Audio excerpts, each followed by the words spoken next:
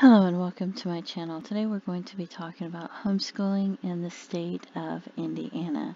And we're going to cover a variety of things and we're going to start with how to comply with Indiana's homeschool law at HSLDA.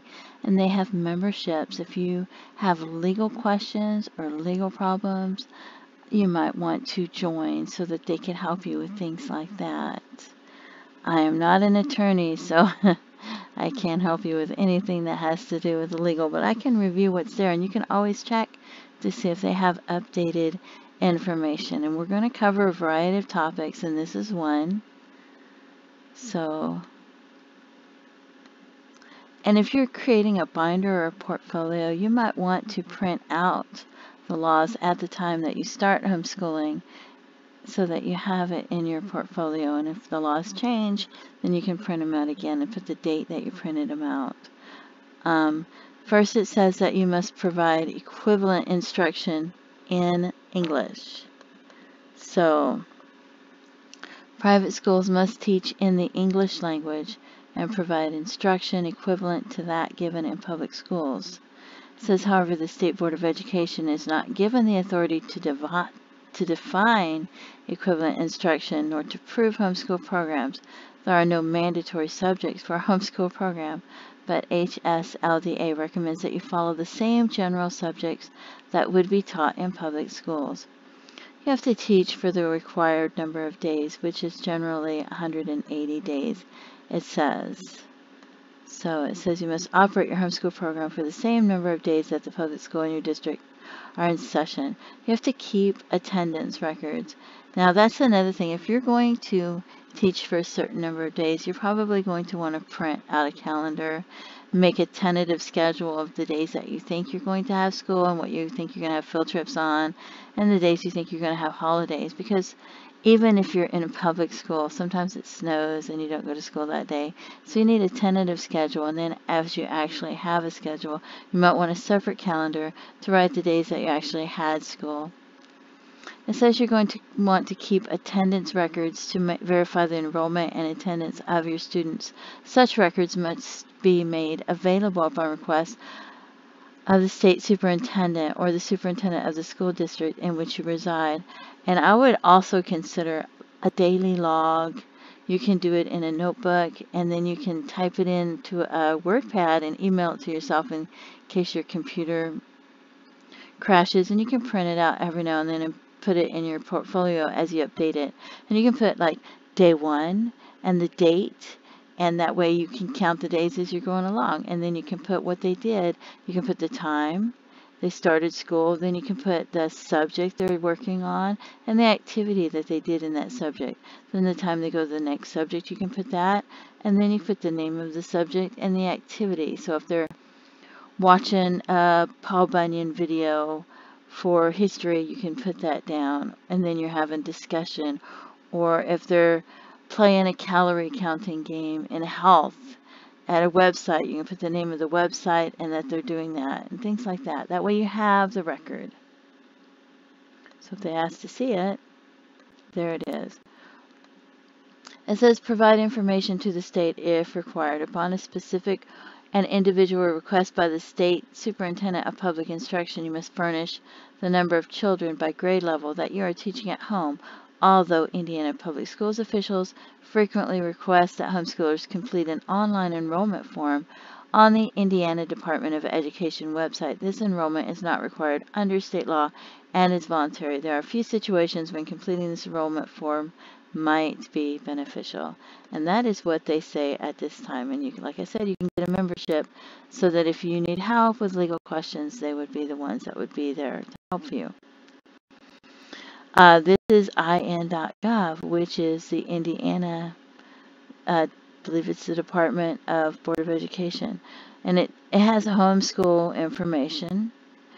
So you can go to their website and get information as well. And I'm not going to read all of this to you, but I will scroll down to show you some different things. And you can go on different links. And when you go to their website, you're probably going to want to print it out their legal information and put a date on it and put it in your binder or portfolio, which you know, you could put a lot of fun records in that and look mm-hmm. back on it and say, oh, what a great year, and oh, you've done so much, and I'm so glad I kept this. You know, you might want one for your student and one for you, and have them help you create one and make it like a school project. That way, they're taking part of it and they can look back mm-hmm. on it and they can feel pride in the work that they've done. And it's just a great thing to do. Um, here's a PDF document from the Department of Education with their frequently asked questions. And I'm not going to read all this, but I will scroll down in case you want to read it without having to go to their website. And it says that homeschools are referred to as non-public, non-accredited schools. And then it has the list of legal requirements. So you can print this out and put the date that you printed it out so that you have it in your binder. Talks about attendance records, and maintaining records. So if you want to pause the video to read it, then you can. Because I don't. It's a lot of reading, and I've got a lot of tabs open and a lot of different things that I want to go over. So, like I said, you can pause it and read it, or you can go to their website and download it and print it out. You can download it and save it as a PDF. And email it to yourself after you've saved it so that it's not just the link, it's the actual PDF they had. Okay. Now you can go online and you can find free calendars. Um, I believe the Department of Education on the Tennessee's website has an excellent calendar that you can print out and use. And you can put your tentative calendar, what you plan on having for the school days, and you can mark it with X's on the days you plan on having school, or you can use highlight markers, and you can put like an FT for field trip and an H for holiday. And then when you actually have school, you can use another calendar and put the days that you actually have school. So it's in a simple calendar to see the days that you had school as well. I would also keep the daily log as well. And a page that you have for the schedule, that you brainstorm the schedule and you try to come up with ideas for the schedule and then the, the schedule that you actually ended up using. I would have that in my binder. Okay, this is mathmammoth.com. If you're homeschooling, you're going to want to take an assessment test for your students, even if they homeschooled the year before. Sometimes they absorb different things and some things they need to review. Even in public schools, they begin the year often with review. So you can go and take these placement tests, print them out for your students to take, and you can put them in your portfolio. This will help you to be able to plan what you want to teach your student for the year. And it shows that you took the time to give them the test and that you created a plan. And if there's things that they need to review, you can highlight it. And that way, if they're on a different grade level in reading than math, you can see that at the beginning of the year. And then by the end of the year, if you want to give them the assessment test again, you can see how their progression was, especially if you're doing a portfolio that shows progression. People choose, some people choose to create a portfolio or binder that highlights the best work. And some people choose to do one that shows progression and some people choose to create a portfolio or a binder that shows a variety of skills. But this shows you how to test how, how to grade the tests and everything. This is an excellent resource.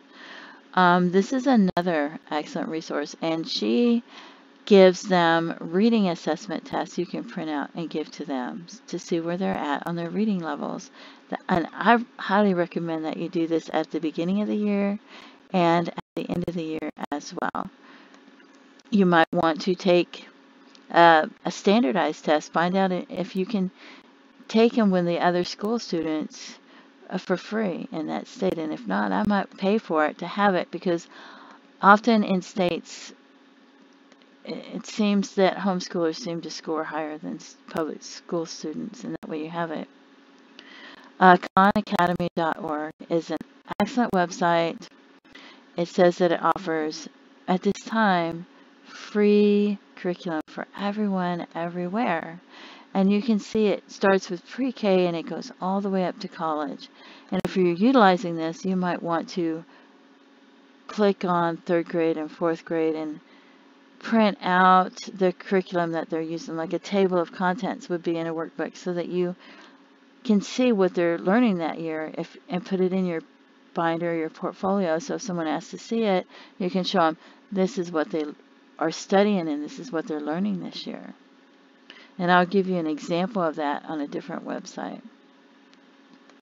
And this is All-in-One Homeschool, which is also called Easy Peasy. And this is a great, fun website for children. Uh, it is free at this time, but they do try to get you to donate. So you go to a website to donate, and you can click cancel at that when you get to the PayPal donate site. And if you use it and love it, you can donate later. And it utilizes different websites as it teaches them for their grade level, and it goes by day by day.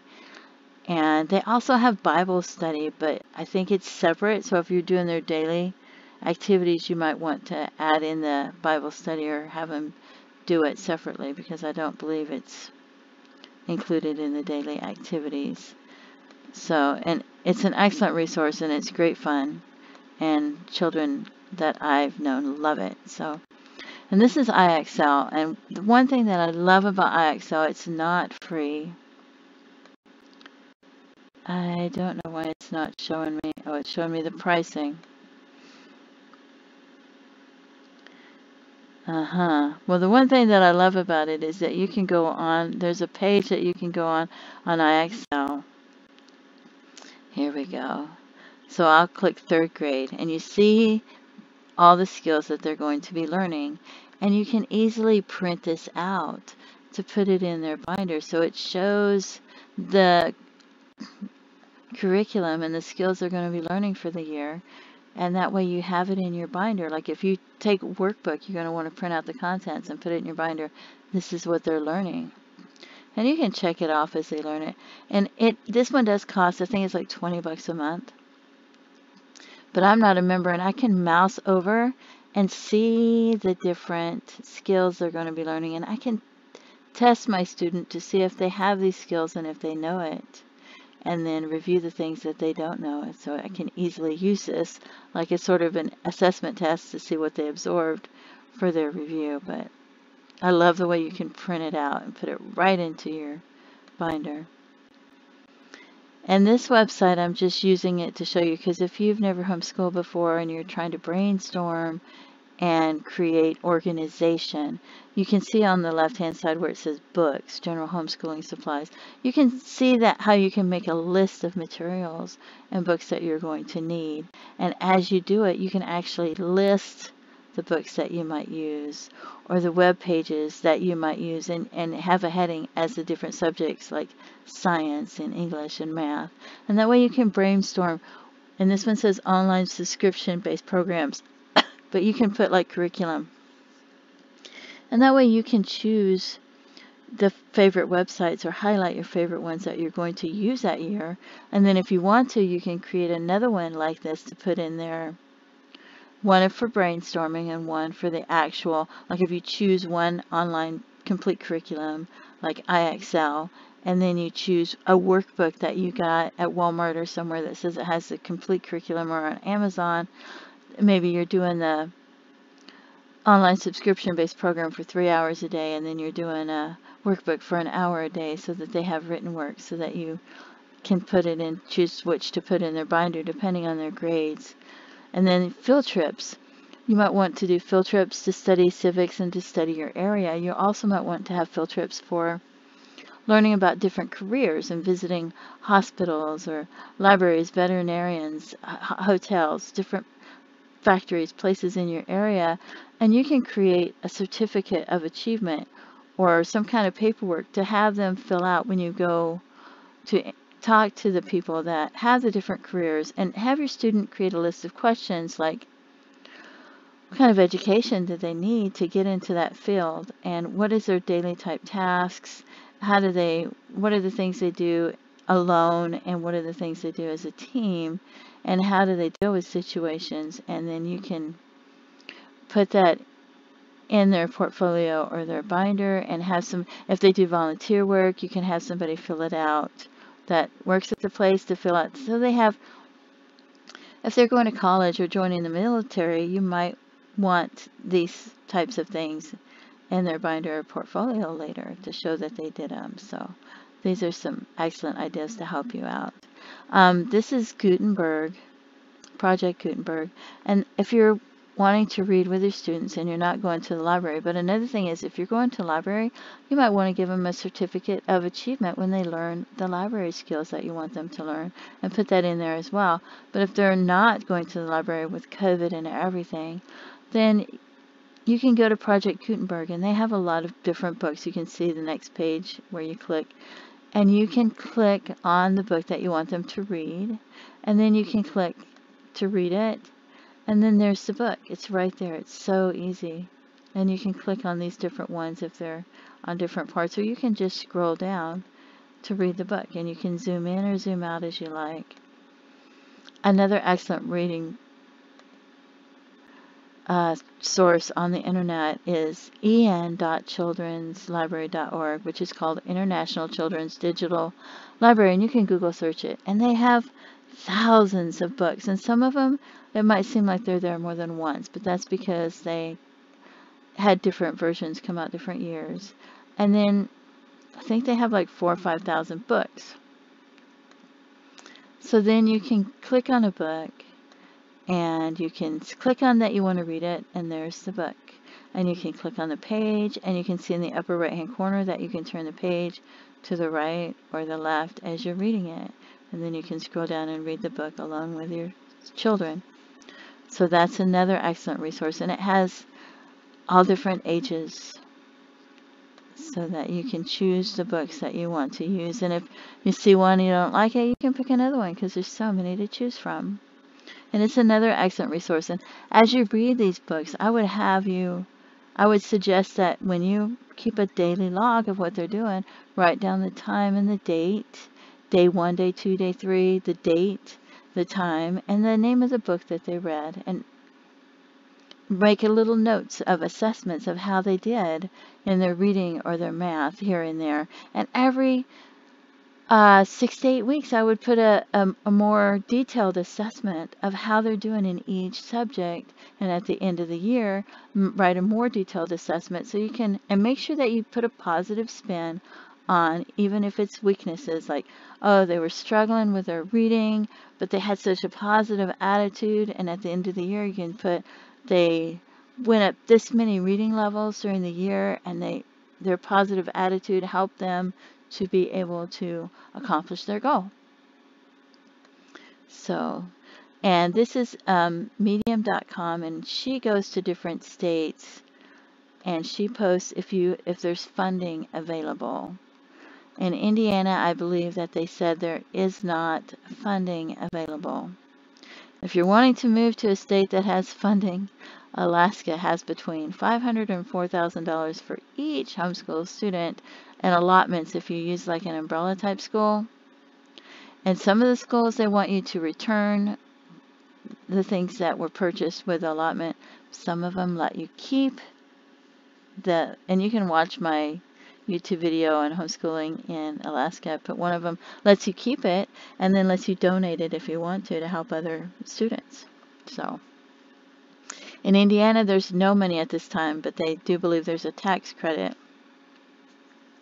And they think it's a $1,000. So you can look it up and see if that's accurate or up-to-date information.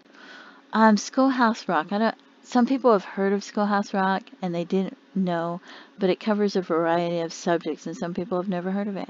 It's got grammar, science, economics, history, mathematics, and civics. And they have YouTube playlists where people have the Schoolhouse Rock so your child can watch these and sing along while they're learning. It gives you a break and children love it. I mean, it came out in the 70s, but children today still love it. And I don't know if they've seen it or not, but I know back in the day we learned a lot, and I didn't realize how much we learned until I saw how much people weren't learning, but it shows you the subjects and you can see the multiplication tables, and it teaches you more than just the multiplication tables in the math, and you'll find that out if you listen to it as your student listens.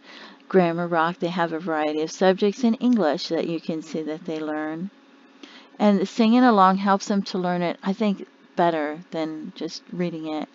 They have um, American Rock, which teaches you another, so you, you, can see the word subject and look under the word subject, and you can see it teaches you about voting, electoral college, American Revolutionary War, and you can sing along and learn all these things. There's science, it teaches you science, and there's a variety of subjects in science you learn.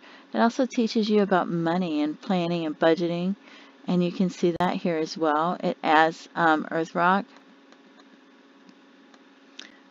which teaches you about rainforests and oceans and gardens and wind power. So it's quite a lot that you learn in this short little music videos. And like I said, they're free playlists on YouTube that people have created that you can watch.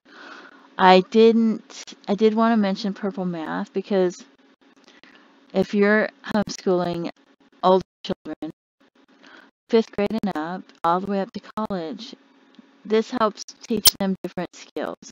And you can click on the skills and go to the skill and it will help. There's videos to help them to learn the skill and there's instruction as well. So they can read the instruction or they can watch the video. And I think this is an excellent resource and it's been around for years. It's been around since I went to college. Um, extramath.org and it used to be free and now it's $2 a student.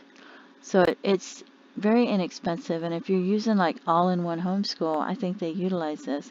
And it helps them to hone their skills and be able to do their multiplications faster and their simple math. It's just an excellent resource, so I thought I would throw that in there as well. And I had so many tabs open, so I couldn't open the last one. It's Indiana Homeschool Organizations and Support Groups. And I tried to click on one, but some of them have so many ads that it's hard to. So they have a lot of them have years of experience from homeschooling. Like I homeschooled for eight years. So if you join a homeschool group in a co-op, you might find people that have years of experience with homeschooling that can help you. They might have books that they're sharing. They might have knowledge of information that you never even considered. Some of them are free and some of them cost money. So you can go on there and try to find out which ones you're interested in joining and if you are interested in joining. And I think that joining homeschool groups or co-ops might be an excellent resource. And then if you have books that you want to donate to other homeschoolers, that would be a great place to do that.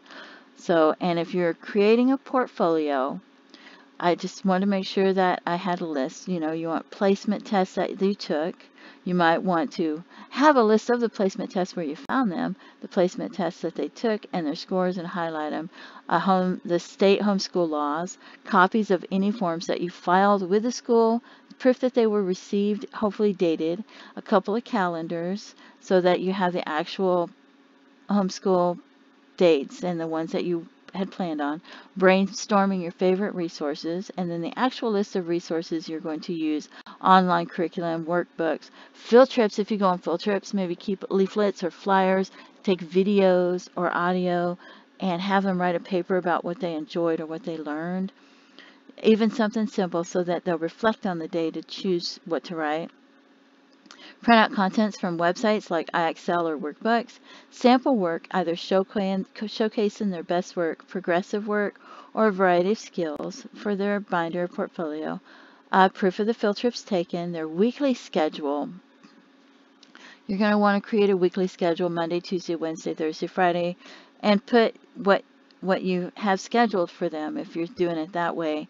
And maybe Wednesday you're going to want to teach them a variety of skills like 4-H type skills and cooking and things like that. Maybe Friday after noon you're going to be playing board games because board games are education and you can list them as part of your education or reading magazines that they've got that are educational in the mail and and so there's some ideas for you.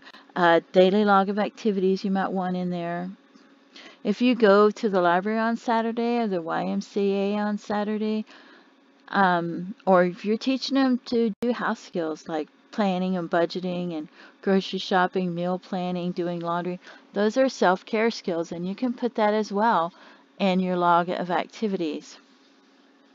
Volunteer work with certificates and or records of outside classes taken like if you go to the museum and take art classes somewhere, you might want that as well. Contacts with emails for the school, homeschooling groups, and addresses for school and support groups. So hopefully I covered everything I wanted to cover. And I hope that helps somebody if they're, especially if they're new to homeschooling. And I appreciate you tuning into my channel. Please feel free to leave comments and have a great day. Bye-bye.